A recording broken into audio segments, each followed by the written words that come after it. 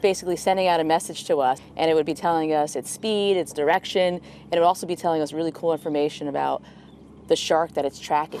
Down easy.